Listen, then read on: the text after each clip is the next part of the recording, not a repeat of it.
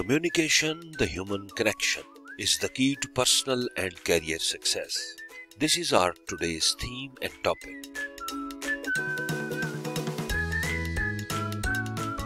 Welcome. I am Dr. Kamran Yusuf Sandhu from the Research Incubation for Sustainable Development. In today's video, you will learn how to improve communication skills for career growth. This is Professional Skills Series. Communication works for those who work at it. John Powell, who will work hard to learn and to improve communication, he will survive.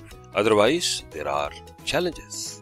Why communication skill is important at workplace? There are certain factors. First one is personal or professional. So in our daily life, Development of personal or professional relationships are not possible without effective communication. And you want to develop strong relationship with your family, friends, peers, employees. There is a need to enhance your communication skills effectively to build and establish such relationships. Number two point is team communication. In your professional life, team communication is very much important to master. Good communication is an essential tool in achieving productivity and performance. To achieve productivity and to maintain the better working relationship, it is actually required at all level of an organization. And good communication is key to success. This concept got more importance during COVID-19. Employers who want to build trust within the organizations are recommended to communicate clear message between players, between their team members. Eventually, they will get high performance and high morale. A person with good communication skills will become an asset for an organization. So if there is a poor communication, obviously you will find unmotivated staff. Next point is what required at workplace. So how we can improve our effectiveness? How can we improve our growth or career? So there are five points. So number one is team building, then everyone with a voice, innovation, growth, strong management. So I will explain one by one. Question is how can we improve all these five areas? First one is goals and expectations. Building successful teams really means communicating and cooperating together with team members. In short, goals and expectations should be achievable. If you will give such kind of goals which are not achievable, so there will be depression among employees and their performance will go down.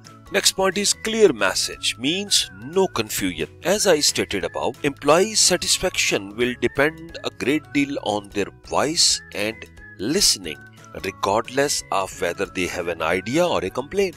All should be able to communicate easily with their bosses, colleagues, supervisors regardless of their rank. Message should be clear, there should be no confusion and you have to listen your employee and employee must improve herself or himself so as to explain in front of employer what they want. Medium. There are different mediums available like email, face-to-face conversation, telephone, messaging, so many things. Here you have to select the best medium which will give the exact direction to your team player or team members.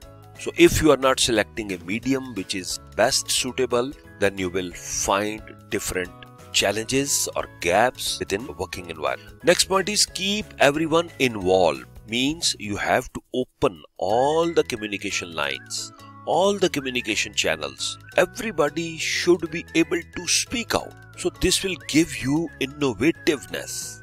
A person if he don't have any kind of fear so he will explain freely he will tell you the real picture freely. This thing will lead towards innovation and creativity. You have to set communication channels in a way that are acceptable to your fellow employees. Empathy, promote dialogue. So if somebody is in problem, you have to show him empathy that organization is with you and he must realize that organization's commitment will support him in his problematic time. That time can be within the organization or outside the organization. So whatever the situation, company should stand with the employee by listening his voice. Finally, this quotation is very interesting and uh, one point which I have highlighted red that is different. So let me speak it out. To effectively communicate, we must realize that we are all different. Means different backgrounds in the way we perceive the word and we see the word differently and use this understanding as a guide to our communication with others. And whatever we have perceived, we will put in our mind, we will draw some sketch and will speak. So, a wise person, a strong manager, uh, if he is capable enough to understand a person's background and he can guess what he can speak and what he wants actually, he can be a good manager and can lead the team. My message is improve communication skills for faster career growth. Otherwise, you may face downward trend in your life. Thank you very much. This short video will give you good information. Thank you very much. If you have any question, you can contact me. Best of luck.